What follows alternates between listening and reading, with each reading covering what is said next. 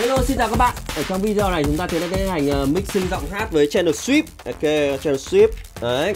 Ở trong video trước thì mình đã nói chuyện về một câu chuyện về channel sweep. Mình nói nói rất nhiều các câu chuyện về channel sweep. Những cái điều mình học được từ việc mình sử dụng channel sweep. Và cũng như là chúng ta biết được cái công cụ channel sweep là sẽ sử dụng như nào Các công cụ của nó sẽ như thế nào. Thì ở trong video này chúng ta sẽ mixing giọng hát với channel sweep. Và cũng ở trong video này thì mình cũng cho các bạn một số các cái lời khuyên khi chúng ta sử dụng channel sweep để chúng ta có thể sử dụng channel ship hiệu quả, bởi vì ngày nay đa phần các phòng thu, đa phần mọi người sẽ sử dụng channel ship rồi với các bạn nhìn thấy ở đây đó chính là một cái bản thu thông thường đến từ các phòng thu. Thường thường các phòng thu người ta sẽ thu âm với beat và giọng hát thì bản thu này là mình xin được của ông anh mình. Thì anh ông anh mình quen mình ở cái kênh youtube cũ và anh ấy quý rồi anh em trò chuyện với nhau. Nhân lúc anh ấy quý thì mình xin à, mình xin mình làm video hướng dẫn cho các bạn. Thông thường thì mọi người sẽ mixing giọng hát với cả beat đúng không ạ? Nhưng mà nếu mà chuẩn xác ra chuẩn xác ra thì chúng ta phải mixing giọng hát với cả multi tracks và thứ hai là giọng hát chúng ta phải thu âm rất nhiều các cái trách khác nhau, ngoài trách chính ra, trách bè, rồi trách xe rượu, rồi trách thế này đó đó trai trách ban thắng hai bên rồi thế là nói chung là thu âm rất nhiều trách khác nhau để chúng ta có âm thanh tốt nhất. Khi chúng ta mixing một giọng hát với cả một cái beat như thế này, thì nó sẽ có rất nhiều các vấn đề xảy ra. Thứ nhất là do cái beat này nó không phải là beauty check mà nó đã xuất ra thành một cái bản CTO như này. Thì rõ ràng là khi chúng ta không thể quản lý được cái trường âm thanh, cái trường âm thanh chúng ta không quản lý được. Bởi vì các công cụ panning thế này thế loại trai, đôi khi là một số các nhạc cụ nó sẽ nhảy vào mồm của chúng ta. Và thế là giọng hát của chúng ta bị chìm xuống. Đó, ví dụ như thế. Hoặc là đơn giản là họ đã thêm lượng saturation rồi và cái lượng saturation đấy nó không liên quan đến cái phần giọng hát của chúng ta. Đúng không ạ? Rồi thứ hai, tiếp theo đó chính là cái phần reverse cái phần không gian mà họ tạo ra bằng reverb, bằng delay, thông số của họ, rồi cái máy của họ sử dụng nó hoàn toàn khác với cái giọng, cái cái cái cái mà chúng ta đang dùng. Vì thế là sự lệch lạc đó, nó không thể nào khiến cái giọng hát mà chúng ta mix ra nó để hòa quyện 100% với cái beat này được. Còn nếu các bạn là muốn beat nó hòa quyện 100% thì các bạn phải học cách mixing multi track mà mixing multi track nó hơi bị lằng nhằng một chút là ở chỗ là các bạn phải học cả quá trình thu âm nữa.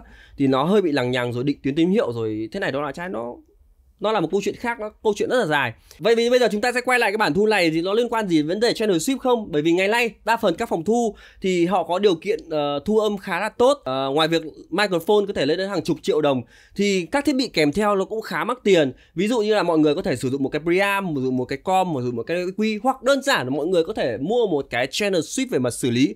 Tuy nhiên cái vấn đề xảy ra đó chính là khi chúng ta mua các thiết bị về mà chúng ta không biết sử dụng nó rất là là khó trong quá trình thu âm, đặc biệt là rất nhiều các vấn đề xảy ra. Vấn đề thứ nhất là vấn đề liên quan đến preamp. Dù các bạn sử dụng channel sweep hay preamp rời, nó đều có preamp hết. Preamp giúp để tăng cường độ tín hiệu lên đúng không ạ? Tăng biên độ kím hiệu lên để âm thanh thu vào và preamp giúp cho âm thanh sạch hơn này, gọn hơn. Ngoài ra nó bổ sung cái lượng saturation vào để khiến âm thanh của chúng ta rõ ràng và chắc chắn hơn. Tuy nhiên một cái vấn đề xảy ra đó chính là uh, khi chúng ta thêm preamp vào thì âm thanh nó không được chất lượng nguyên mẫu như ban đầu nữa mà nó thêm bổ sung thêm cái lượng sóng hài vào cái lượng sóng hài đấy nó có thể nhấn vào phần trầm hoặc nó có thể nhấn vào phần cao. Ví dụ như là khi chúng ta sử dụng các con túp chẳng hạn, sử dụng các loại túp preamp thì các bạn sẽ nghe thấy chất âm nó sẽ hơi bị đục đục nó kiểu kiểu như đấy nó sẽ thêm một lượng khù khù như kiểu thế xuống. Nó sẽ khù khù âm thanh của các bạn. Ờ, mặc dù cũng là polyam nhưng mà được cấu tạo khác hơn sử dụng một cái túp khác hơn hoặc là sử dụng bóng đèn khác hơn hoặc là sử dụng mạch bán dẫn thì âm thanh nó sẽ như thế này. Nó sẽ thêm một cái tiếng vào cho các bạn. Vì thế là cái lượng âm thanh được bổ sung vào tùy thuộc vào loại preamp vào. Cái điều này nó hoàn toàn ảnh hưởng đến cái gì? Ảnh hưởng đến giọng hát của chúng ta. Đối với một số giọng hát chẳng hạn với giọng hát sáng màu giọng hát tông cao thì việc chúng ta sử dụng các preamp túi màu nó sẽ giúp cho giọng hát ấm áp hơn. Tuy nhiên đối với những giọng hát mà nó đã đủ sự ấm áp rồi mà chúng ta lại thêm cái sự uh, ấm áp vào nữa thì âm thanh của bạn tuy nhiên toàn bộ khu vực âm thanh của bạn nó sẽ bị tối hẳn đi giọng hát của bạn đi. Đấy điều quan trọng khi chúng ta sử dụng preamp vì thế là không phải là preamp nào nó cũng tốt cho cái bần giọng hát của chúng ta. Còn chưa kể là preamp đấy nó có tốt với cái microphone của chúng ta hay không? Bởi vì mỗi mặt microphone chúng ta biết rằng là mỗi mặt microphone khác nhau có tải tần số đáp ứng nó sẽ khác nhau rồi giải số đáp tuyến nó khác nhau. Và cái sự hấp thụ của nó ở các giải tần nó cũng sẽ khác nhau, chẳng có microphone là giống nhau cả. Và chính vì thế là cái preamp đấy liệu có có có phù hợp hay không? Đó, thì vì thì chính vì thế là ở bên nước ngoài thì đa phần mọi người sẽ mua preamp rời và mua vài cục preamp khác nhau để họ tùy cái lúc mà họ sử dụng khi thu âm họ sẽ sử dụng khác nhau. Nhưng mà đa phần mọi người ở Việt Nam thì kinh tế có thể là không được nhiều lắm. Thì nên họ mua sẽ channel sweep. Channel sweep thì nó rẻ hơn. Channel sweep thì bao gồm có cả com cả preamp của eq thì nó rẻ hơn rất nhiều. Và so với việc mình mua rời. Rồi uh, chính vì thế là điều quan trọng là chọn preamp phù hợp. Thứ hai là sử dụng compressor cũng như vậy. Đa phần thì có rất nhiều các loại compressor khác nhau đúng không ạ? Chúng ta có compressor là tube compressor rồi opto compressor rồi ờ, uh, VCA compressor điện áp compressor rồi lấy này là compressor. Rồi MU pump vari compressor thì mỗi loại compressor đấy thì có một cái lượng tác động khác nhau. Rồi uh, ảnh hưởng đến giọng hát khác nhau. Không không phải là loại compressor nào nó cũng ảnh hưởng giống nhau nhất là các thông số liên quan đến attack và relay của nó nhưng có một vấn đề là mọi người hay bị sai lầm ở vấn đề đó chính là chúng ta đặt attack và relay như thế nào trong quá trình sử dụng uh, compressor khi trong quá trình thu âm. Khi mình trao đổi với ông anh mình thì ông anh mình bảo là em em ơi tại sao mà anh cứ thấy người này nói là uh, khi chúng ta ừ, đặt com đầu vào của vần thui thu âm ấy thì có người cứ bảo là attack uh, ờ, ngắn rồi relay dài, có người lại bảo relay ngắn attack dài. Anh chẳng biết thế nào cả. Thế em theo em thì như thế nào?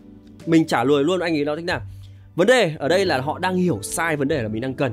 Bởi vì khi chúng ta sử dụng compressor vào trong quá trình thu âm thì chúng ta mục đích duy nhất của compressor trong quá trình thu âm là để âm thanh trá tránh bị vượt ngưỡng biên độ. Tức là âm thanh nó không bị over quá tải vượt qua giới hạn của kỹ thuật số, đúng không ạ? Để chúng ta thu âm thứ nhất là âm lượng lớn hơn âm lượng lớn hơn mà nó không bị bể tất nhiên là cái vấn đề đấy nó chỉ liên quan đến vấn đề là khi người ta hát lại hét to lắm hét kịch liệt lắm thì mới bị thôi. Còn đa phần thì mọi người có thể thu âm rất là nhỏ như này. Đa phần mọi người thu âm rất là nhỏ. Vì thế là không bị vượt ngưỡng. Vì thế không việc gì chúng ta, nếu mà thu thu âm nhỏ này, chúng ta không việc gì chúng ta phải dùng compressor làm cái gì cả. Còn nếu, còn khi người ta khuyên anh, đó chính là sử dụng attack thế này, sử dụng attack thế kia, thì cái đấy dùng trong quá trình mixing chúng ta. Tức là về sau, khi là chúng ta thu âm file này rồi. Lúc đấy chúng ta mới căn attack và relay theo cái bản nhạc của chúng ta đúng không ạ? Lúc đấy chúng ta ngồi cả tiếng đồng hồ chúng ta căn attack relay cho nó để cho nó phù hợp chứ làm sao chúng ta phải để căn ngay từ đầu được như thế.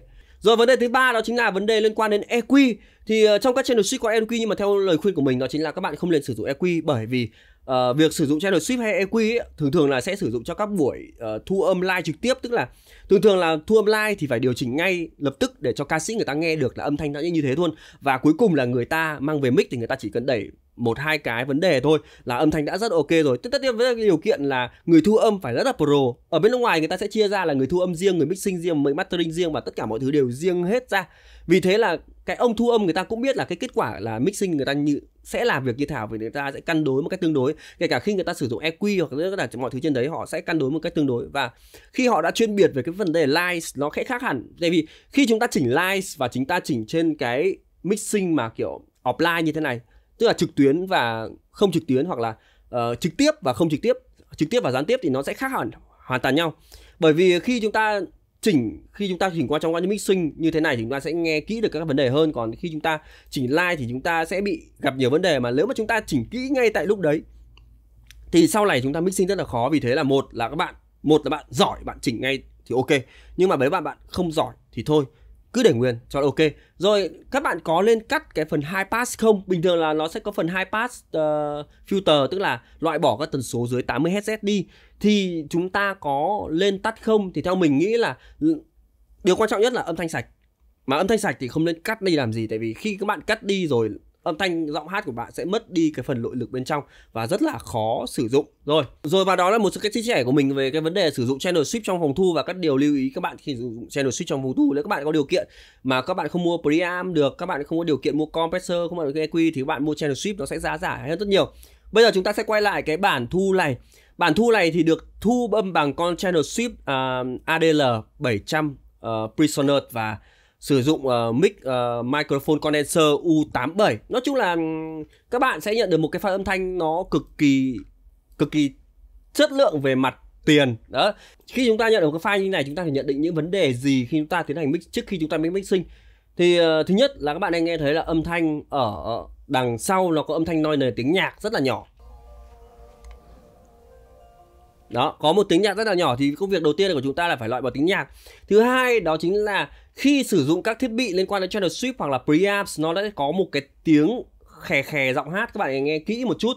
Nó sẽ có một cái lượng con đi cách biệt phương trời là đó là do âm thanh bị uh, được xử lý qua preamp và nó bị biến dạng âm thanh và khiến âm thanh một số các giải tần của chúng ta được kích thích hơn. Những cái tiếng này ấy, khi các bạn nghe bình thường các bạn sẽ không thấy đâu. Nhưng mà khi các bạn sử dụng các công cụ uh, compressor rồi các công cụ để tăng cái lượng biên độ của nó lên hoặc tăng cái độ ồn của âm thanh lên các này các bạn nghe cực kỳ rõ và nó kiểu nó cực kỳ khủng khiếp. Nhiều bạn hỏi là làm thế nào để chúng ta có thể xóa nó đi được? Không chúng ta làm sao xóa được được? Nó ăn vào cái cốt lõi phần âm thanh của chúng ta rồi không thể xóa được đâu các bạn ơi rồi rồi bây giờ chúng ta lại nghe tiếp điều tiếp theo đó chính là chúng ta hãy xem nghe âm thanh của cái này nó có cân bằng không? Nó có bị ảnh hưởng gì vấn đề về môi trường này vấn đề về cách thu âm hay không? Con đi cách biệt phương trời. Các bạn có thể thấy rằng là âm thanh thu rất là sạch nó không bị uh, nhuốm bởi không gian môi trường. Mình đang nói chuyện với các bạn đây các bạn này nghe thấy qua cái mic của mình âm thanh nó hơi bị uh, ong ong nó hơi bị um đúng không ạ? Đấy là do cái môi trường xung quanh của mình. Tất nhiên là khi mình ờ, nói chuyện với các bạn mình để sai thôi thì nó sẽ không nó sẽ có cả âm vang của môi trường nữa. Nhưng mà khi mình hát gần như cái này thì các bạn ấy nghe thấy là âm thanh nó dày hơn ấm hơn rồi tập trung hơn và tiếng môi trường nó ở bên xung quanh nó không có. Thì đối với bản thu này các bạn phải nhận định điều đó. Tức là nó có bị ảnh hưởng môi trường không? Bị bóc xì không hay bị các vấn đề không? Thì rõ ràng đây là một bản thu rất là sạch không bị uh, cách âm rất là tốt và không bị âm vang đến từ môi trường. Bạn hay nghe thấy không có âm vang. Rồi uh, nó có bị bóc xì không? Nó bị um không? Không bị um tí nào hết. Bản thu rất đẹp luôn. Chỉ mỗi cái vấn đề đó chính là khi âm thanh được xử lý qua con pre-processor nó sẽ cho âm thanh nó hơi hơi sáng cao một tí và nó nó không phải là khè mà nó nó nó kiểu kiểu vì thế là nó nó sẽ bị một cái đó và chúng ta dùng cái gì để chúng ta chúng ta sử dụng EQ là chúng ta xử lý được rồi. Mòn mỏi trông con. Các bạn này nghe thì mòn mỏi ói chữ ỏi phần ỏi của nó nó hơi bị vang một chút. Các bạn nghe kỹ một chút. Mòn mỏi đó chữ mòn mỏi cái đoạn đấy nó hơi bị vang một chút thì vì chính vì nó hơi bị va một chút thì chúng ta có thể sử dụng EQ chúng ta subtract nó đi để loại bỏ những cái vấn đề đấy đi. Tất nhiên là chỉ một chút thôi không ảnh hưởng đến tổng thể chúng ta. Quá nhỏ. Lặng nhìn chiều thu lòng nhớ thương ai. Đó bạn có thể nghe thấy là chữ ai nó bắt đầu bị vỡ dạn ra. Vấn đề vỡ dạn này là do cái preamps uh, kết hợp với giọng hát. Các bạn này nghe thấy là trong giọng hát nó có một cái vỡ lấm tấm lấm tấm rất là nhỏ lặng nhìn chiều thu lòng nhớ thương ai. Đó. Ở phần đuôi này có phần vỡ lâm tấm rất là nhỏ. Các bạn nghe kỹ các bạn thấy và các bạn nhìn thấy ở trên này. Giải đuôi này mình zoom ra đây các bạn có thể nhìn thấy rất rõ ràng là nó có những cái vết gãy. Thì cái vết gãy này là do là khi um, thu âm. Khi thu âm thì các bạn uh, hay thu trực diện vào cái microphone và thứ hai là do là mic nó là mic condenser lên cái tính chất của cái mic condenser nó như thế này.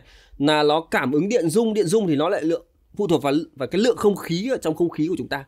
Và khi chúng ta hát và chúng ta, chắc chắn là có chuyện mà nước bọt chúng ta rồi chép miệng rồi những cái phần ấy chúng ta rất rất là nhiều. Chính vì thế là nó, tại sao người ta sẽ thích sử dụng mic condenser? Bởi vì mic condenser cho cái lượng chi tiết nó nhiều, bởi vì không khí nó rung động như nào, nó nó nó nhận luôn như thế nó khác hẳn so với cái mic mình đang dùng. Mic mình đang dùng với các bạn đây là là mic ờ, uh, respawn và respawn nó nó có độ lì với mặt không khí nhiều hơn. Vì thế là các bạn sẽ khi, khi mình để gần cái này các bạn các bạn sẽ thấy là nó không bị vỡ tiếng. Nó không bị vỡ tiếng theo kiểu nấm tấm như thế. Vì thế là mình đề xuất cho các anh ý là lên sử dụng một cái pop filter như kiểu này. Đây là cái pop filter và khi chúng ta hát vào như này các bạn sẽ thấy là uh, bỏ ra bỏ ra. Các bạn sẽ nghe cái sự vỡ lấm tấm ở trên cái pop filter. Alo 1, 2, 3, 4, 5, 6 7, 8, 9, 10 Và bây giờ mình cho vào. Các bạn sẽ nghe thấy âm thanh nó dịu hơn và đỡ lầm thân. 7, 8, 9, 10 1, 2, 3, 4 Nó sẽ Cái pop filter Nó là một bộ lọc mà nó giảm bớt cái, những cái phần mà lấm tấm Ở cái tần số cao. Vì thế mình khuyên anh ấy là Anh ấy mua rất nhiều các cái nhà điều kiện mà mua rất nhiều các pop filter khác nhau tức là nhưng mà có loại pop filter mặc ờ, màn lọc của nó bằng vải như thế này có màn lọc bằng uh, thép có màn lọc bằng cái này cái kia. Thì mỗi một loại đấy nó sẽ chặn ở một cái giải tần khác nhau tức là nó sẽ bớt cái âm âm thanh của mình nó vào cái mic khác nhau.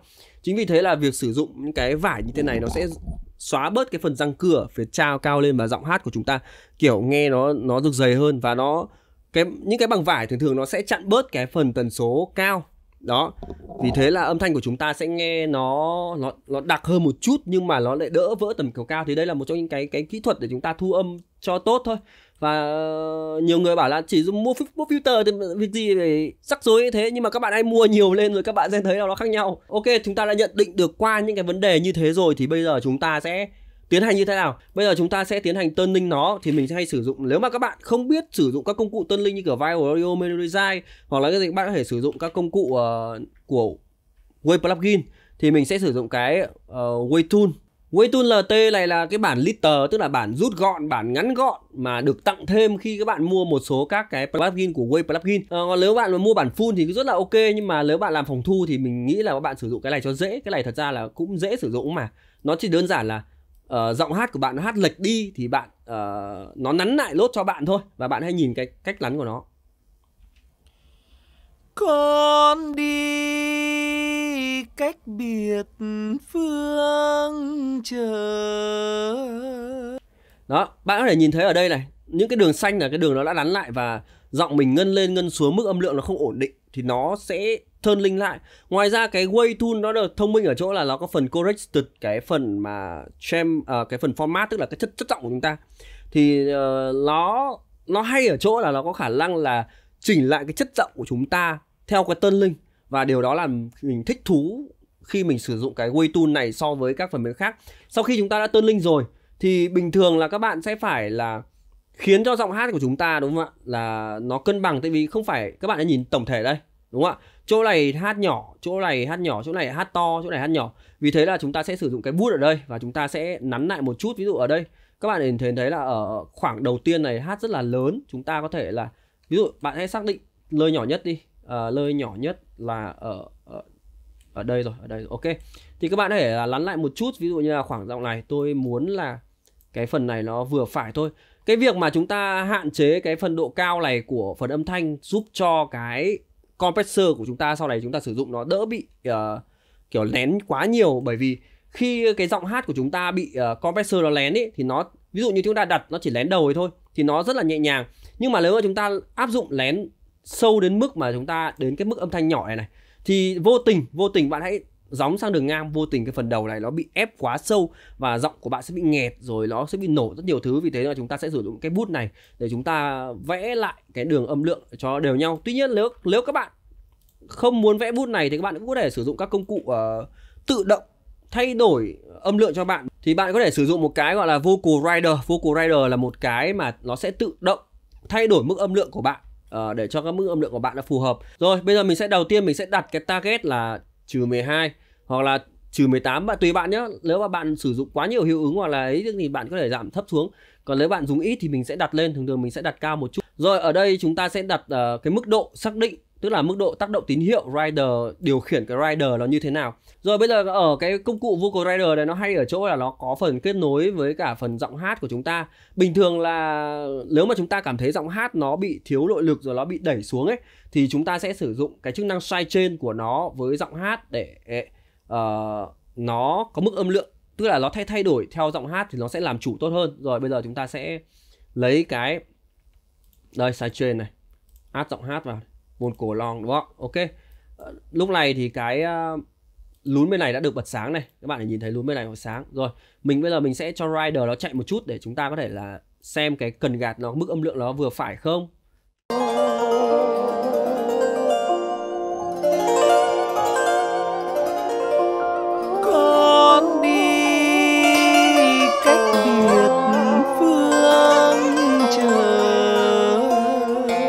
Bạn có thể thấy rằng là cái âm lượng uh, bản thu của mình nó nhỏ hơn cái cái cái cái cái mà bản beat của mình. Và nhỏ hơn cái target này. Lên cái cần gạt này nó đẩy lên gần hết cỡ này. Chính vì thế là ở đây chúng ta sẽ đặt cái target này nó cao lên một chút để, để cho cái phần âm lượng nhỏ nhất nó được đẩy lên to như thế. Rồi hai cái bước vừa rồi đó chính là thứ nhất là weight tune là để chúng ta nắn giọng chỉnh phô đúng không ạ? Rồi cái bước thứ hai là chúng ta cân bằng lại âm lượng mà như vậy đấy là chúng ta chúng ta cân bằng âm lượng bằng cái bút này hoặc là chúng ta sử dụng cái uh, automation để chúng ta vẽ lại âm lượng cho nó. Để mức âm lượng của nó được trên đồng đều thì lúc này chúng ta sẽ sử dụng cái uh, channel sweep của chúng ta mới ổn định được. Bây giờ chúng ta cần quan tâm cái gì? Khi chúng ta sử dụng channel sweep này các bạn cần quan tâm đó chính là thứ nhất như vừa nói là, là preamp là thêm saturation vào đúng không ạ? Thứ hai là com làm sao cho phù hợp. Rồi cuối cùng là eq thì uh, đầu tiên với saturation bạn biết rằng là giọng hát này được thu qua preamp thu qua channel strip thì nó đã có sẵn lượng saturation rồi. Đầu, các bạn đều các bạn cần quan tâm đó chính là liệu cái lượng saturation này thêm vào nó có phù hợp với cái saturation cũ của nó đang có hay không, có phù hợp với giọng hát hay không? Bây giờ chúng ta thể lên. Con đi cách biệt phương trời đó. Bạn sẽ thấy là âm thanh nó sạch hơn và nó không bị cái phần đấy nữa tại vì cái lượng saturation nó bổ sung vào là nó sẽ hơi lạnh một chút. Cái loại SSL này nó sẽ thiên về rock một chút thì nó hơi lạnh một chút. Biết có ngày nào con trở lại. Đó đoạn này nhá. Nhất là đoạn thấp này các bạn sẽ nghe thấy sự rõ ràng giữa khác biệt giữa chúng ta thêm saturation vào biết có ngày nào con trở lại. Các bạn nghe thấy là nó sẽ trong hơn một chút, đó, nó trong hơn một chút do cái lượng saturation bổ sung nó khác nhau rồi sau khi chúng ta đã thêm cái saturation mình cảm thấy là ở uh, ok khá là ok. Tuy nó nó không nó không được cái vintage nó không được uh, uh, dày ở phần phía dưới nhưng mà nó về cơ bản nghe âm thanh nó khá là trong rồi. Ở đây chúng ta sẽ nhận định luôn là cái compressor này âm thanh của chúng ta. Con đi. Các bạn này nghe thấy là con đi. Con đi. Đúng không ạ? Nổ. Cách biệt. Các bạn này nghe thấy là con thi khách khiệt. Nó nó kiểu như thế con đi cách biệt phương trời. Rồi do nó nó bị là do là cái ớt tách của mình nó lúc mình thu ấy nó bị nhọn đầu các bạn nhìn thấy đầu này nó bị nó bị nhọn lên. Đó. Do SL4000 nó channel strip nên nó chỉ có là Tahoe, compressor và relay. Rồi attack nó chỉ có phát attack và attack bình thường. Chúng ta để attack bình thường relay chúng ta để xa xa một chút ở tầm này rồi Raito chúng ta để cao lên một chút. Nó gần như là limiter vậy. Rồi bây giờ chúng ta sẽ xem cái lượng lén là tầm bao nhiêu là vừa phải. Khi bạn tăng lén này lên bạn thấy âm thanh bị nghẹt. Chúng ta dừng lại. Con đi cách biệt phương trời. Đó do với âm thanh nhỏ thì các bạn hình nhìn thấy là ở đây nó bắt đầu nó có cái uh, âm thanh nó bị chết chết tiếng. Tức là âm thanh nó không được thoát ra nữa do là mình uh, sử dụng compressor nó sâu quá nó bị nghẹt như thế vì thế chúng ta nhả nhả compressor. Mòn mỏi. Rồi uh, rồi bây giờ chúng ta sẽ tác động lên attack và relate cho nó. Thì do là âm thanh của chúng ta nghe thấy là pẹt pẹt pẹt pẹt vì thế là mình muốn attack nó nhanh để nó phủ cái phần đầu của phần âm thanh đi. Và để cho âm thanh cái phần đầu nó puncture hơn nó không bị giật. Bạn này nghe thấy phần đầu nó không bị giật nữa con đi. Đó con đi nó không bị con key tuy nhiên là nó vẫn bị giữ ở phần sau do cái uh, relate này mình căn thời gian. Để cái phần sau của mình nó được phủ hết thằng sau đi. Con đi cách biệt phương trời Tuy nhiên là khi âm thanh nó bị uh, vào những cái đoạn mà không thu âm tiếng này này, nó vẫn có tiếng âm thanh vào chúng ta sẽ sử dụng công cụ uh, gate, chúng ta sẽ đặt gate rất là nhỏ thôi. Rồi threshold lên, rồi relate nhanh một chút, ok. Đến bao giờ Đó, nó, nó, nó vẫn còn nhiều. Rồi, căn thời gian một chút. Đến bao giờ? Đó, kết thúc cái là lên. Thì cái phần mà nó tăng dần lên này, tốc độ tăng dần lên này, nó phụ thuộc vào relate này. Thì nó sẽ giảm dần. Thì cái này thường thường là sử dụng trong trống nhiều hơn. Còn ghét mà khi chúng ta sử dụng cái giọng hát này thì đa phần là chúng ta sẽ để ở tốc độ nó ở giữa một chút là nó đã là vừa phải rồi. Rồi chúng ta chỉ căn cái lượng tác động âm thanh nền mà nó có mà thôi. Đó rồi bây giờ chúng ta đến cái filter này. Bây giờ chúng ta sẽ loại bỏ đi những cái phần âm thanh trầm. À, để loại bỏ âm thanh trầm thì các bạn hãy quan sát chú ý một chút. Các bạn thấy thấy âm thanh nó hơi bị mỏng. Bạn các bạn nghe lại âm thanh này. Con đi. Các bạn có thể nhìn thấy tần số rất rõ ràng ở đây là tất cả những thần tần số dưới 200 người ta đã loại bỏ đi trong quá trình người ta thu âm rồi. Bình thường nếu mà trong quá trình thu âm không loại bỏ đi âm thanh nó phải vòng cao như thế này ở phần đuôi. Tuy nhiên là trong quá trình thu âm người ta sẽ sử dụng channel shift và channel shift người ta đã bật cái chế độ là high pass filter vì thế là âm thanh nó bị cắt đi phần lâu. Vậy thì chúng ta có cần sử dụng filter này không? Bình thường mọi người sẽ sử dụng filter này và mọi người sẽ uh, cắt đến cái lượng dưới 150 để chúng ta loại bỏ phần âm thanh giọng hát đi. Tuy nhiên là ở đây người ta đã cắt rồi. Vì thế bạn có cần cắt không? Ở đây chúng ta không cần cắt nữa và chúng ta chỉ cần cắt nhẹ ở khoảng tầm 30 Hz thôi. Tại vì 30 Hz nó sẽ tạo ra những cái âm rung ở phần dưới dưới. Chúng ta không cần cắt sâu khi chúng ta thực hiện EQ thường thường chúng ta sẽ phải thực hiện từ phần trầm lên phần cao trước. Ở phần trầm đây chúng ta sẽ có low pass filter và bell bell là giúp cho âm thanh nó bị uh, thành đường parabol bình thường khi chúng ta sử dụng EQ này chúng ta sẽ sử dụng bell nó như này. Đó bell là như này. Còn nếu mà chúng ta sử dụng cái uh, chế độ bình thường thì nó sẽ như này. Thì ở trong này chúng ta sẽ sử dụng bell để chúng ta kích thích nó lên. Và bạn này quan sát ở đây là tần số nó khoảng tầm từ đây nó bị thiếu đúng không ạ? Nên là bị thiếu trọng tâm thiếu trọng lực vì thế chúng ta cần phải tăng nó trong khoảng như thế này. Và hiện giờ chúng ta chưa biết là trong khoảng nào thì bạn hãy tăng decibel lên khoảng 6 decibel đến 12 decibel. Thường thường ở trong cái công cụ quy uh, ờ, frequency này nó sẽ có là đến tận 15 decibel cơ nhưng mà rất ít người người ta sử dụng cộng đến 15 decibel. Đa phần nếu mà âm thanh của chúng ta cân bằng với mức âm âm lượng rồi thì chúng ta sẽ không bao giờ tăng cao như thế và chúng ta chỉ tăng khoảng tầm để dò âm thanh hoặc để lắng nghe âm thanh thay đổi chúng ta chỉ cần tăng khoảng tầm dưới 9 decibel là ok rồi. Bạn nào mà tăng lên 12 decibel thì tất nhiên âm thanh nào cũng có vấn đề hết. Con đi cách biệt phương trời rồi ok. Khi chúng ta dò đến cái khoảng là bạn cái dò đến quanh đây bạn sẽ thấy là khoảng tầm giữa uh, giữa 100 và 200 nó sẽ có một khoảng cho âm thanh rất êm ấm đằng sau. Rồi đến khoảng tầm uh, gần 350 rồi 400 gì đấy nó sẽ có âm thanh nó sẽ rất là là là là là là, là dày tiếng. Do là trong cái khoảng tầm này mình đang bị thiếu hụt phần lâu ấy thì mình sẽ tăng phần này lên. Còn ở cái khoảng tầm 300 400 này này nó là phần tần số cơ bản của giọng hát. Giọng hát nó vào phần đấy thì nó sẽ đẩy lên thì giọng hát kiểu chữ trước nó rõ hơn. Biết có ngày nào con trở lại. Bạn sẽ thấy rằng là sự thiếu hụt phần trầm nó đã được bổ sung vào nhưng mà một cái lý do đó chính là do là mình cắt cái phần hai pass trước đó trong quá trình thu thu âm lên, chúng ta bị thiếu tầm trần nên chúng ta bổ sung. Còn nếu trong trường hợp bình thường thì mình hay đẩy các tần số ở khoảng tầm ba, bốn trăm này trước. Tại vì khi mình đấy mình sẽ sử dụng cái ờ, mình vào đây, mình sẽ sử dụng thêm một cái EQ nữa mình cắt. Nhưng mà ở đây trong video này mình sẽ hướng dẫn channel shift thôi. Nên mình chỉ đưa ra những cái vấn đề bạn mình cần để cho các bạn thôi. Rồi 6 decibel, các bạn thấy khá là ổn vấn đề này rồi.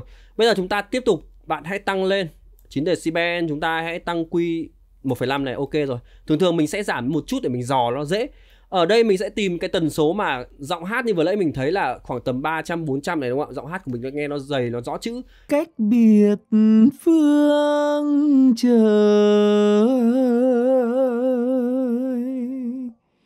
biết có ngày nào con trở lại ở khoảng tầm này bạn sẽ thấy là giọng nó sẽ rõ ràng và sáng thì mình sẽ tăng một chút thôi tăng một chút thôi. Dò thì chúng ta để cao lên một chút mà khi chúng ta tăng cái lượng âm lượng chúng ta sẽ giảm một chút thôi. Và thứ hai là do cái đường này mình dùng beo dùng beo thì nó chỉ như thế nào? Dùng beo thì nó sẽ như thế này. À, ok dùng beo ha. Dùng beo nó như này.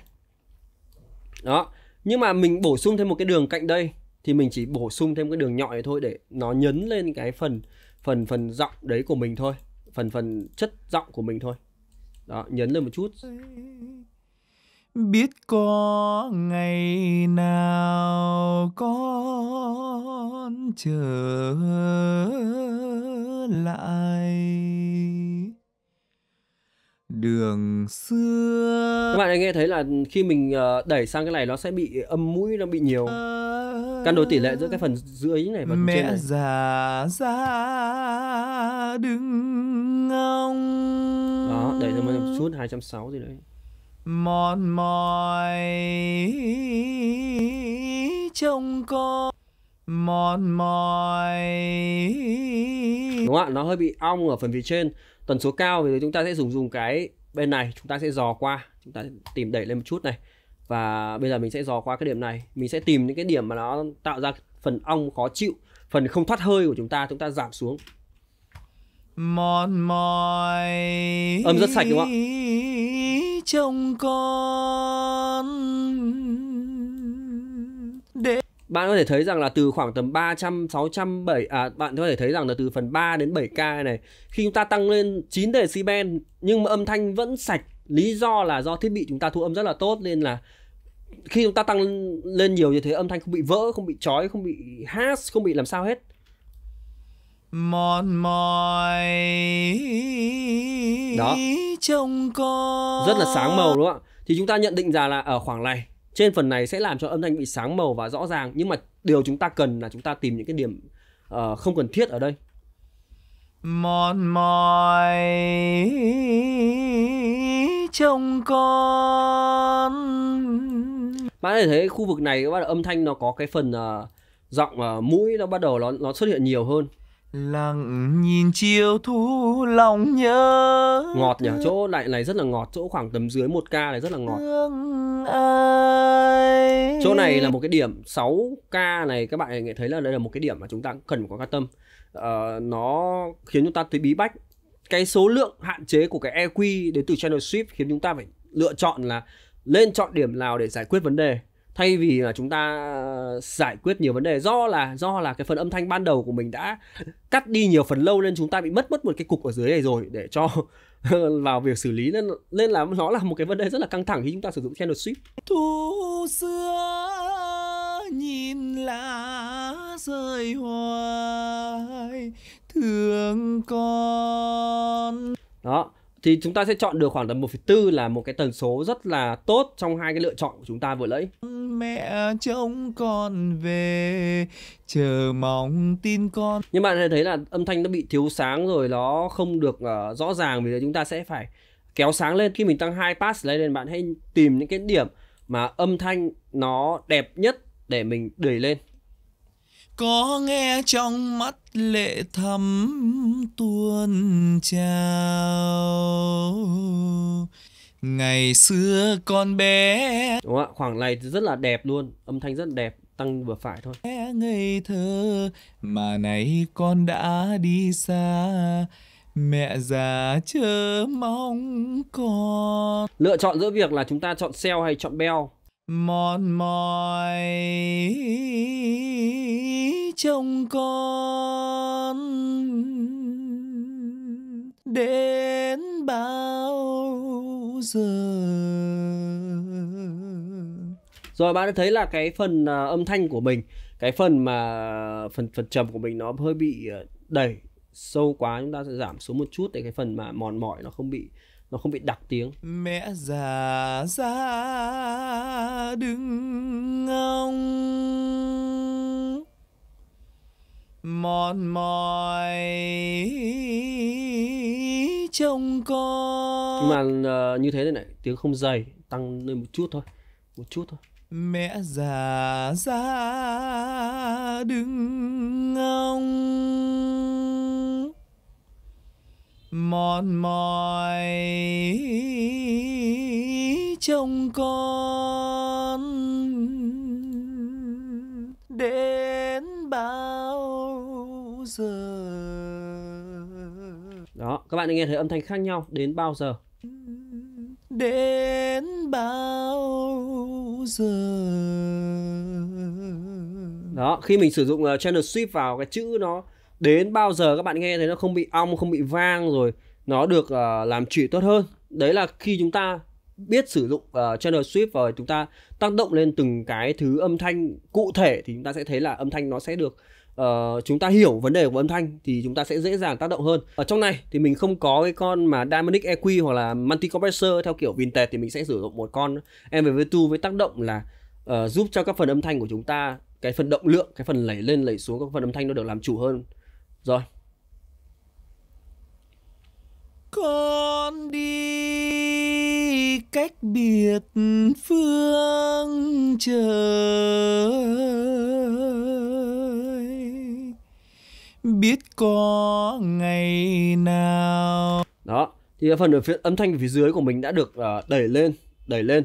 Tuy nhiên là phần phía thanh phía cao sẽ có một vài cái nốt nhạc nó bị bắn lên. Bình thường mình sẽ dùng monkey Watcher hoặc là dynamic EQ vậy là cái phần âm thanh của mình nó đã được uh, làm chủ về mặt động lượng về mặt làm chủ khá là ok rồi. Bây giờ chúng ta cân đối lại nó với cả cái phần âm thanh tổng thể bản nhạc của chúng ta.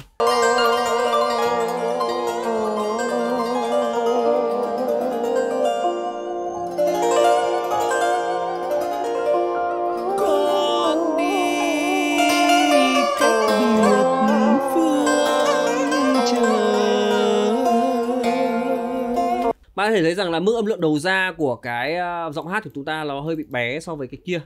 Tăng lên một chút, cái này rồi ờ, ở trên đầu ra của này chúng ta tăng lên một chút output đầu ra con đi cách biệt phương trời. Biết con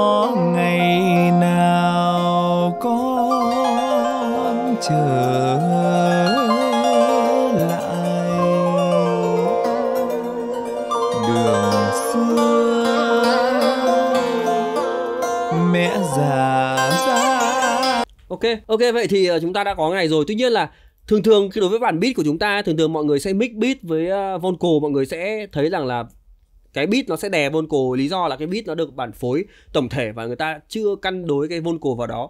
Và khi chúng ta mét vocal vào chúng ta phải chừa cái chỗ trống cho cái beat. Đấy, đó. Chừa chỗ trống cho cái beat thì chúng ta sẽ sử dụng một cái công cụ uh, để chúng ta chừa chỗ trống cho cái beat. Thì nếu các bạn uh, có rất nhiều các công cụ để các bạn sử dụng thì uh, các bạn có thể sử dụng uh, các công cụ về stereo imaging ví dụ ờ, như ở đây mình sẽ sử dụng con ờ, MSD đây Voxergo nhưng mà khi chúng ta giảm phần ờ, gain ở giữa một chút thì nó sẽ giúp cho phần âm thanh ở giữa nó nó bị nhòa đi. Đó, âm thanh nó tràn sang hai bên. Đúng không âm thanh tràn sang hai bên tai. Lúc này chúng ta, khi âm thanh nó được tràn sang bên tai đến lúc này chúng ta cho cái giọng hát vào thì rõ ràng là cái giọng hát của chúng ta sẽ nổi bật uh, dưới cái beat hơn.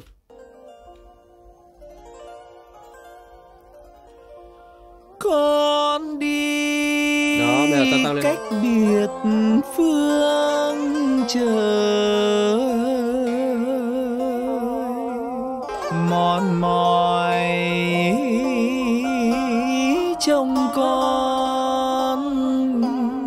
đó nó sẽ nhường chỗ cho phần giọng hát của chúng ta vì thế là giọng hát chúng ta nổi bật hơn. Tất nhiên là khi giọng hát nổi bật như thế chúng ta không cần giọng hát nó có âm lượng quá lớn mà âm lượng vừa phải.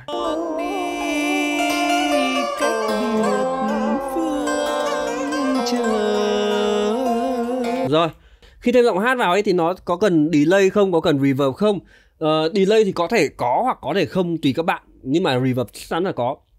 Thì ở đây mình sẽ có hai cái reverb mình sẽ tạo hai cái reverb ra uh, mình sẽ sử dụng cái reverb uh, của cũng của thằng ờ, uh, SSL thôi. Là đây mình sẽ ghi là R1 đây.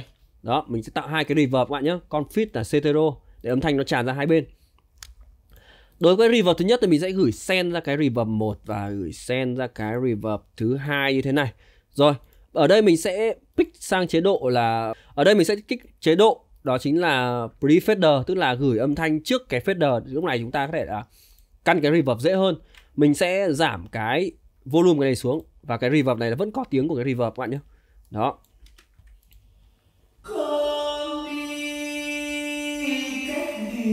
Lúc này âm thanh của chúng ta là chỉ có tiếng reverb thôi nên là chúng ta sẽ dễ căn hơn. Thì cái reverb đầu tiên thì mình hay sử dụng đó là một cái reverb room. Các bạn có thể chọn mặc định như thế này cũng được. Tức là chúng ta sẽ uh, lấy một cái mặc định reverb nào đó để cho âm thanh của chúng ta nghe được uh, tốt nhất. Thường thường cái đầu tiên sẽ chọn là room mình sẽ chọn later room hoặc là các bạn có thể chọn một bất kỳ một cái room nào bạn thích. Bạn nghe thấy âm thanh chất lượng ok thì bạn dùng cái đó.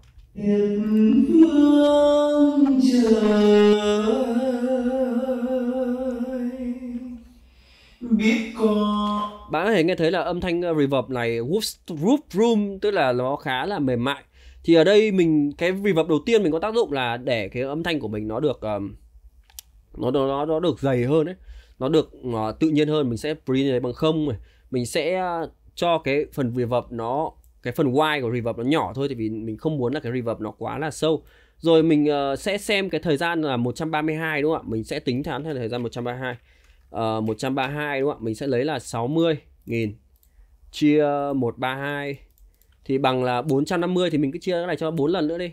Đấy, chia ra 4 lần. Ok mình được 113 giây thì mình sẽ kéo cái này xuống 113 giây và mình lắng nghe xem 113 giây. Cái này là thấp nhất nó là uh, à, cái này thấp nhất là 225 rồi không xuống nữa. Ngày nào con chờ rồi với cái thấp nhất thế này bạn có thể nghe thấy là âm thanh của mình nó sẽ cái nó khiến cái giọng hát của mình sẽ dày hơn bằng cách mình cho lên này lúc này bạn sẽ nghe thấy giọng hát nó dày hơn rất nhiều. Con đi cách biệt phương L- các bạn hãy tưởng tượng rằng là khi mình thêm một cái lượng rất là nhỏ này thì âm thanh giọng hát của mình nó sẽ thêm một cái lượng uh, ở phía dưới. Và khi mình thêm lượng phía dưới này mình muốn là nó nhiều phần trầm hơn để làm phần dưới mình nó dày hơn bằng cách mình bỏ bỏ phần hai đi. Tại vì khi chúng ta cộng quá nhiều phần hai lên thì cái phần âm thanh nó chói nhiều. Trời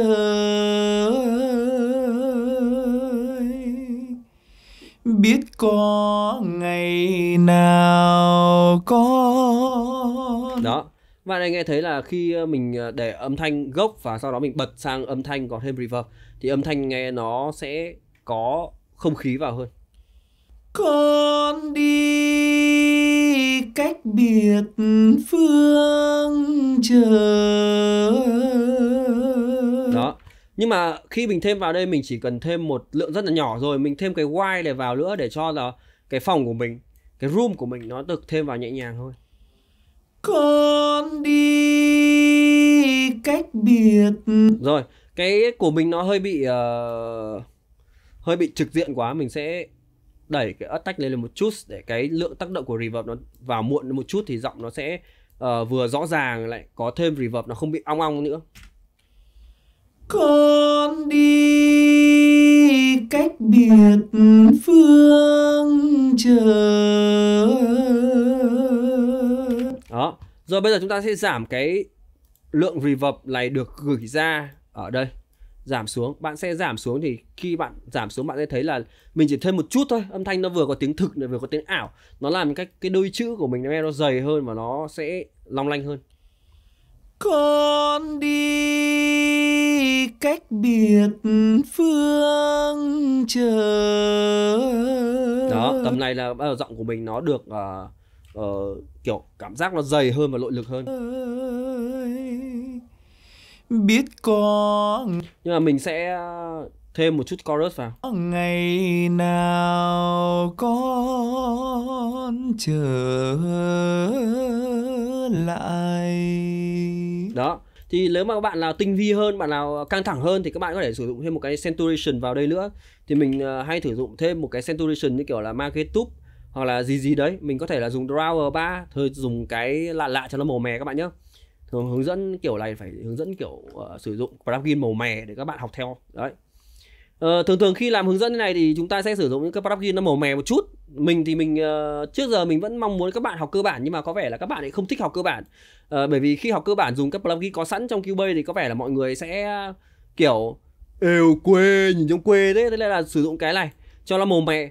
Mà tất nhiên là khi sử dụng những cái màu mè như thế này thì nó nó giống như kiểu mình chuyên nghiệp vãi rồi ấy. Xong khi nó chuyên nghiệp xong có các bạn cứ cố gắng các bạn đau về các bạn dùng ấy. Kỳ cục rồi bây giờ mình sẽ chọn phần clarity nhá để cho nó uh, giọng hát nó sạch à cái phần reverb nó sạch hơn. Biết có ngày nào con chờ. Đây các bạn này nghe này. cái phần reverb khi mình thêm cái cái raw này vào Đấy, nó sẽ sạch hơn rất nhiều. Đó cái reverb này nó đang đặc đúng không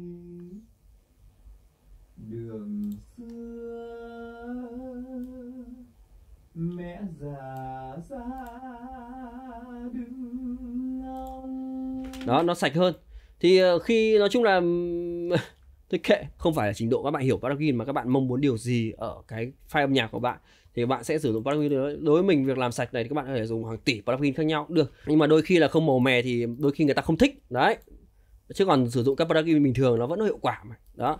Rồi uh... rồi bây giờ chúng ta sẽ sử dụng một cái reverb thứ hai. Reverb thứ hai có tác dụng là khiến cho phần uh, giọng hát của chúng ta uh, nó được uh, thế nào nhỉ? reverb thứ hai nó sẽ khiến cho giọng hát của chúng ta nghe nó có chiều sâu về không gian hơn rồi nó thế này nó nhận trai hơn.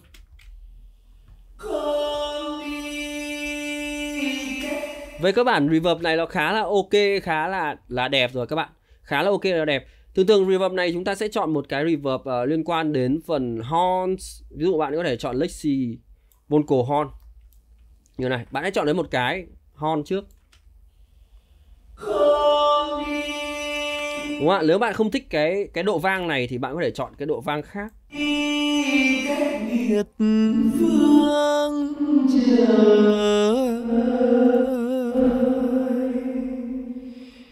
có ngày nào con chờ?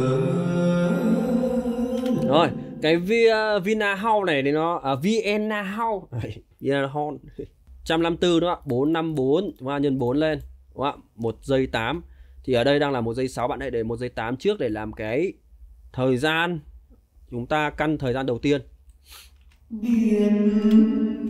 Đó khá là khá là ok. Tuy nhiên là bạn sẽ thấy là nó bị uh, vang và nó bị chói nó bị vang, nó bị chói chói thì tất nhiên là ok rồi. Nhưng mà thường thường là chúng ta sẽ phải cân đối phần EQ của nó đầu ra. Giảm chút phần mid để nó không bị cạnh tranh phần mid. Đó. Rồi ờ, ở đây chúng ta có quá nhiều lâu, giảm bớt phần lâu đi để nó không bị quá um khi nó kết hợp với cả thằng R1 tại vì thằng R1 của mình là là thằng, các bạn nhìn thấy ở đây là chúng ta tăng lâu lên. Ở đây chúng ta giảm đi thì nó sẽ không bị cạnh tranh nhau.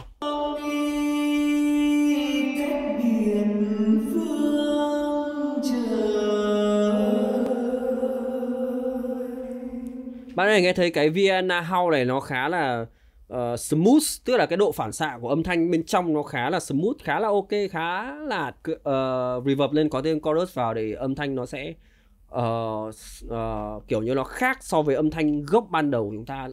Vì thế nó sẽ tách cái phần reverb ra khỏi cái phần âm thanh dễ dàng hơn. Biết có ngày nào uh, giảm này xuống để chúng ta nhìn.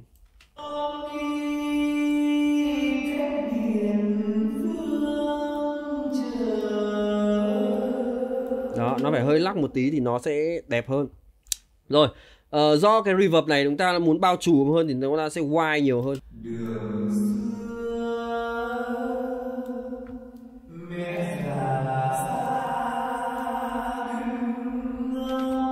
rồi, bây giờ chúng ta sẽ thêm cái, như mình nãy mình nói, thêm saturation vào thôi. Thêm ờ, một chút cái biến dạng vào. Đây, mình clarity nó đi. Clarity nó đi. Rồi, cái này cái để nguyên là được mà, không cần đấy nó khá đẹp.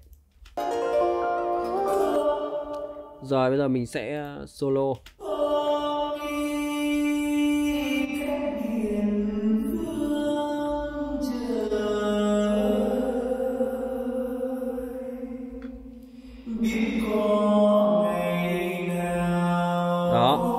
Giờ chúng ta sẽ giảm cái um, lượng uh, sen gửi ra ở mức độ vừa phải. Rồi, tăng âm lượng của cái này lên. Rồi. Bây giờ bật uh, chủ yếu là bây giờ chúng ta nghe âm thanh khi có thêm hai cái reverb này vào và và cân đối tỷ lệ của nó. Con đi cách biệt phương trời biết có ngày. Rồi, chúng ta sẽ thấy là âm thanh nó hơi bị uh, bị reverb nó hơi bị loãng tí. Chúng ta sẽ sử dụng compressor và chúng ta sẽ uh, tiến hành sidechain với nó. Uh, ok ở đây mình sẽ sử dụng compressor này. Và mình sẽ tiến hành sidechain uh, với cái reverb này để cho cái reverb này nó không bị uh, long mi beat long mi tu long mi r đây vocal ok rồi uh, khi mình sidechain vào mình nén nó xuống và mỗi lần khi giọng hát của mình nó được uh, mỗi lần giọng hát của mình nó ngừng lại thì nó sẽ reverb nó xuất hiện. Ngày nào con trở lại? Đó right đó, các bạn đã nghe thấy là cái reverb nó được uh, thêm vào mình bỏ backup này đi. Con đi cách biệt phương trời đó bạn thấy là cái sự nhả lén nó quá là nhanh ờ, nó vào lén và nhả lén khá là nhanh, vì thế là nó bị bị giật giật cái reverb của chúng ta. Vì thế là mình muốn là cái ờ, tốc độ nhả của nó ở mức độ bình thường thôi, cân đối theo thời gian là được. Con đi cách biệt phương trời. Biết có ngày nào con trở lại. Đó ok. Bây giờ chúng ta sẽ tiến hành bật chung với beat mà chúng ta sẽ cân đối tỷ lệ giữa reverb rồi giọng hát rồi lại với cái beat. Con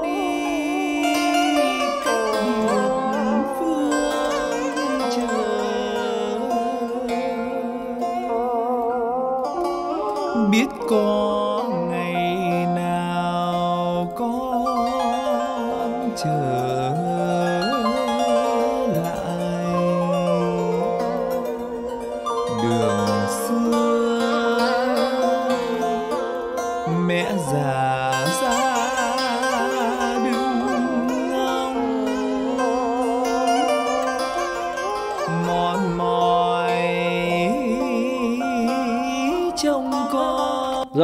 bạn ấy nghe thấy là thỉnh thoảng ờ, giọng hát của mình nó có những tiếng nổ rồi DSR rồi thế này nó ra chúng ta sẽ sử dụng một công cụ DSR.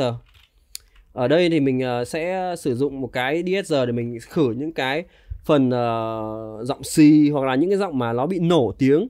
Thường thường là như vậy lấy mình nói đó là mình sẽ sử dụng Dynamic EQ hoặc là dùng đấy bạn nếu bạn không có Dynamic EQ bạn có thể sử dụng các loại uh, công cụ DSR có khả năng là khử cái đấy.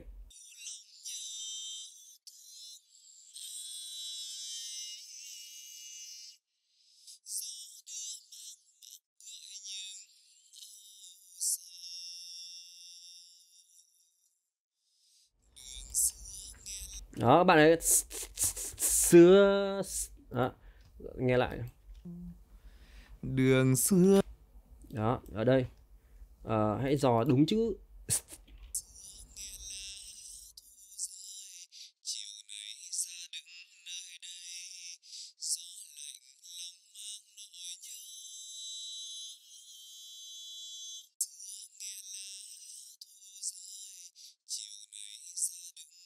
đó. Các bạn này nghe thấy là nó có sẽ có tiếng cứa thì cái cái này nó giúp cho cái gì? Khi mình hát lên. Rồi ok giờ đấy nữa nhìn là thu xưa nhìn lá rơi hoài. Thương con mẹ trông con về chờ mong tin. Đó ok Ờ, rồi bây giờ chúng ta bật lên này.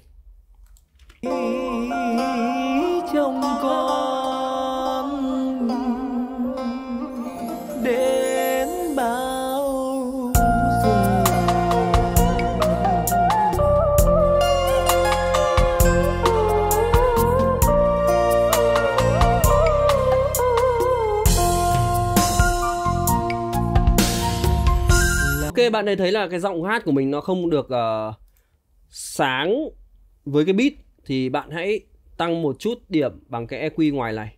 Tăng một chút đấy.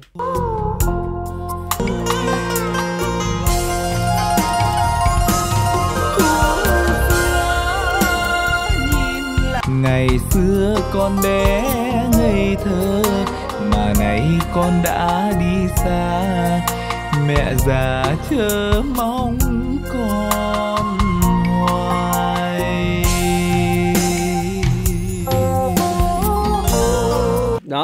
thì khi chúng ta cân đối lại một chút về mặt âm lượng thì chúng ta sẽ được giọng hát nó được nổi bật hơn cái beat. Nhưng mà tuy nhiên cái beat của mình mình sẽ thấy là cái beat này nó vẫn còn chiếm nhiều diện tích quá. Vì thế là chúng ta sẽ chú ý một chút vừa nãy chúng ta sẽ tăng một chút ở đây đúng không ạ? Thì ở trên cái beat của chúng ta chúng ta sẽ so sánh một chút. Bạn có thể mở chức năng này ra. À, mình sẽ pick ở cái beat này nhá và mình mở chức năng cái vocal ra này. Đó vocal ra. Và chúng ta sẽ nhìn sóng này.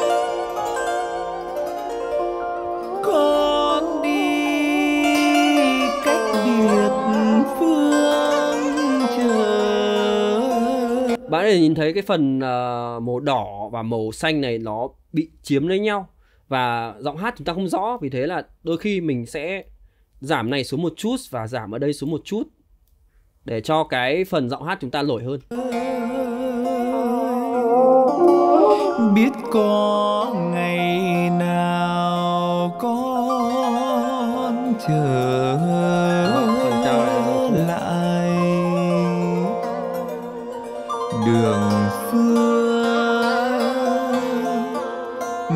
già ra đứng ngóng mòn mỏi trông con. Cho cái EQ này vào thì cái giọng hát của mình nó sẽ rõ hơn. Bạn hãy chú ý nhé khi mình tắt đi này. Con đi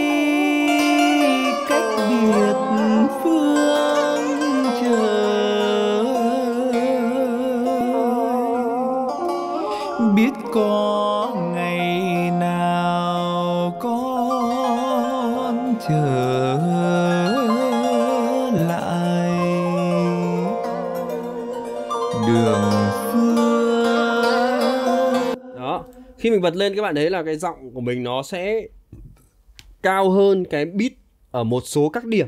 Và điều đó giúp cho cái giọng hát của mình nó nổi bật hơn. Rồi bây giờ cuối cùng nói thế nào nhỉ?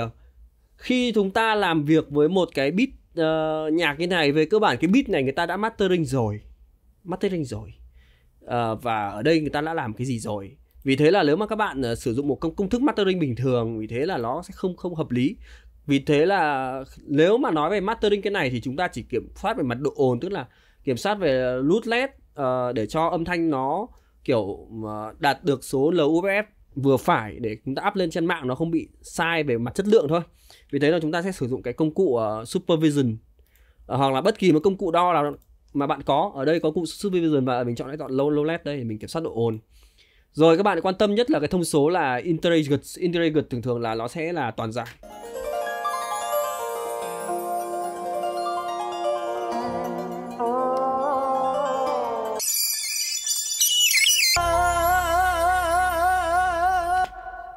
bạn có thể thấy ờ, khi mình ờ, khi các bạn đo thông số độ ồn này này để chúng ta mix mastering thường thường là chúng ta chỉ quan tâm đến hai thông số chính là two pitch thứ hai là integrated để integrated này thì các bạn thường thường là phải play full bài hát của bạn bao nhiêu phút thì nó sẽ từ đấy phút. Thì ngoài cái việc mà chúng ta xem cái đoạn uh, tổng thể này thường thường tổng thể này nếu mà các bạn up lên SoundCloud, YouTube rồi Spotify thì nó mỗi cái là một cái thông số khác nhau. Vì thế là các bạn uh, hãy cân đối cái thông số đấy theo cái tức là cái cái uh, uh, theo cái ờ, nhà phân phối mà các bạn cung cấp ví dụ như là bình thường mình thấy các bạn hay bảo là lên trên mạng các bạn bảo là mastering về làm sao cho cái ờ, loot này này cái LOS đó là trừ 9 loot để up lên trên mạng. Nhưng thật ra các bạn như thế là các bạn hiểu sai trừ 9 là dành cho CD tức là các bạn in ấn CD ra thì các bạn tức là đĩa đỏ thì các bạn hãy sử dụng cái thông số LOS là trừ 9 còn nếu các bạn up lên mạng thì các bạn phải theo thông số ở trên mạng.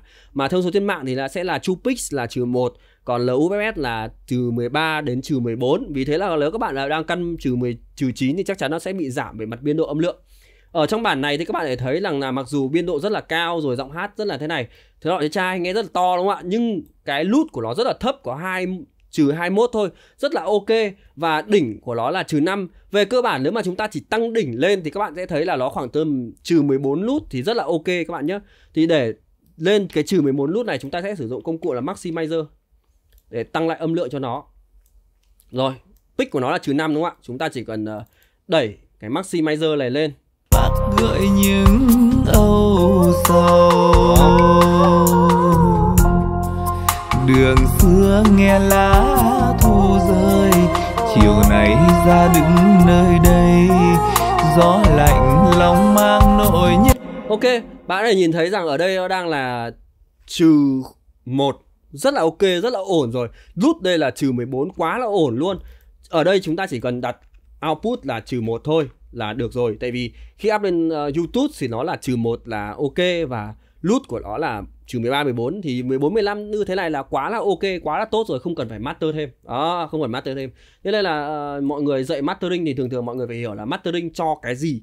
Cho CD hay cho trên mạng hay cho gì? Ngoài ra là mastering đấy thì chúng ta mixing với beats thì có, thì cái lượng, cái cái suy nghĩ về mastering với beat nó khác nhau. Bởi vì khi cái beat các bạn làm về thế này rồi, đa phần người ta đã mastering một lần rồi. Và tức là cái lượng ồn người ta đã khá là ổn rồi. Chúng ta chỉ căn cái lượng, giọng hát làm sao cho cái lượng ồn đấy nó phù hợp với bài hát thôi. Về cơ bản nó đã tốt rồi. Vì thế là chúng ta chỉ cần căn với beat là ổn, là là ổn, không cần căn thêm.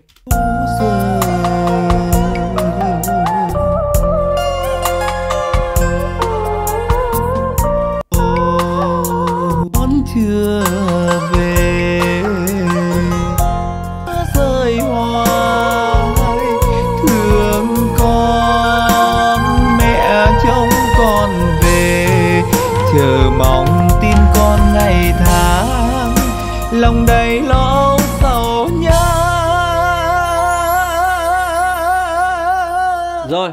các thể nghe thấy phần âm thanh lớn nhất của mình. Đó ở đây nó gm tức là gm à, ở đây gr tức là lượng giảm nén là giảm nén một decibel nhưng mà đầu ra nó trừ một decibel rất là ok rồi nhá. Rồi cái đồng hồ đo của mình là trừ 14,7 quá là ok luôn. Như thế này là các bạn xuất bản trên mạng thì rõ ràng là âm thanh của bạn đã khá là ok. Thì đấy là một số các lưu ý khi các bạn tiến hành mixing ờ, với beat nó sẽ hơi khác so với việc là mixing multi track multi track thì các bạn kiểm soát nhiều hơn rồi beat người ta đã tiến hành người ta mastering trên cái beat này rồi. Vì thế nếu mà các bạn mastering thêm một lần nữa trên cái beat đấy thì nó là một chiếc, ngoài ra bit người ta thêm saturation rồi thêm cái này cái kia. Chúng ta không không kiểm soát cái đấy. Chúng ta mixing với bit thì chúng ta chỉ quan tâm đến phần giọng hát, chúng ta là chính thôi. Còn phần đầu ra output thì chúng ta chỉ quan tâm đến phần là maximizer, rồi hoặc là công cụ để làm độ lớn tăng lên thôi. Không thêm màu, không thêm cái gì cả. Không thêm bất cứ một cái cái gì cả. Đó là âm thanh đủ lớn rồi. Còn vấn đề là tại sao khi chúng ta up 14 nút và 9 nút lên thì nếu các bạn để ý rằng là nếu những bạn nào đang tiến hành mastering mà hướng dẫn các bạn ăn trừ 9 nút lên trên mạng, đó, thì các bạn sẽ thấy là âm thanh của các bạn ấy không được sạch, bị ồn, rồi ờ, âm thanh nó không được thoát tiếng, không rõ ràng. Rồi các phần, nhất là các phần âm thanh tần số cao của các bạn sẽ bị bị chìm xuống, các bạn nghe nó rõ ràng một sự chìm rất là sâu. Vì thế là up phải đúng cái gọi là độ ồn của cái nhà phân phối người ta đề xuất ra thì các bạn sẽ nghe âm thanh nó chuẩn hơn và thứ hai là khi up lên 9 lút thì chắc chắn một điều đó chính là decibel của bạn bị giảm. Decibel của bạn thì giảm không khác gì cái việc là khi âm thanh của bạn mang về nó chỉ còn từng thấy thôi này. Đó. Mà mình cái mình mục đích chính của mình khi up lên mạng là nó phải giữ nguyên cái chất lượng tức là đỉnh cao nhất của nó phải như thế này thì là ok. Thì đó là quá trình uh, mixing uh, với cả channel shift thì trong video này thì mình chỉ là uh, thì trong video này nó hơi bị dài nó hơi bị lằng nhằng rồi nó hơi bị tào lao. Thì chỉ là một cái video nói chung là về mixing với beat nhạc sử dụng uh, channel sweep. Và mục đích chính của video này chính là channel sweep còn những cái khác là reverb. Rồi delay rồi những cái hiệu ứng kèm theo này thì mình chỉ là uh, phụ họa thêm vào thôi cho nó gọi là màu mè cái video này thôi. Tại vì đơn giản làm video mà mình hay làm video mình hướng dẫn các bạn ấy toàn dùng các cái plugin có sẵn stop plugin thì nó hơi nhàm chán rồi nó hơi quê mùa rồi nó không câu like câu view. Vì thế là mình phải sử dụng những cái plugin màu mè ví dụ như là uh, plugin uh, này nhìn đó, đó màu màu mè mè vào. Nhưng mà nếu các bạn đã hiểu về uh, mixing rồi thế này đó trai rồi các bạn sẽ hiểu là sử dụng cái nào mới là hiệu quả nhất đối với bản thân bạn rồi, xin cảm ơn các bạn, chào các bạn. Hẹn các bạn ở clip sau nhớ like và subscribe kênh channel của mình để xem nhiều clip hay nhé. Xin cảm ơn các bạn.